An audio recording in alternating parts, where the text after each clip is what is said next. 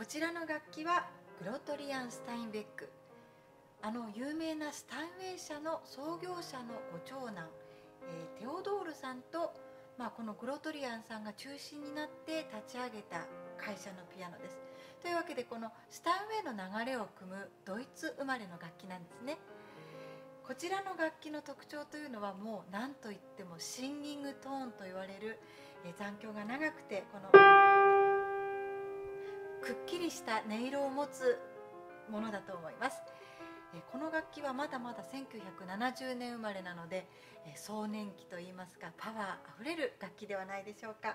シンギングトーンを使ってリストの「愛の夢」第3番を演奏したいと思います。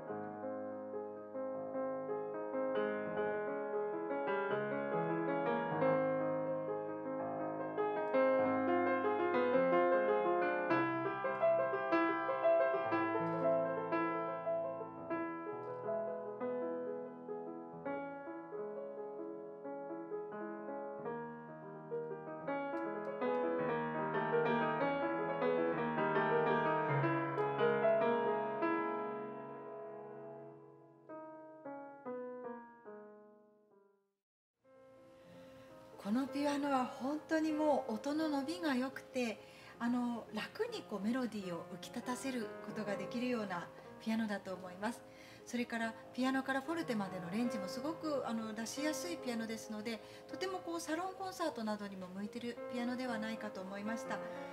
こちらグロトウィリアン・スタインベックの220というモデルなんですけれどもスタインウェイの B 型が211そして C 型というのが227になりますのでそのちょうど間のサイズとなります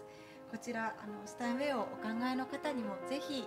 このグロトリアン・スタインベックご検討その一つに加えていただければと思います。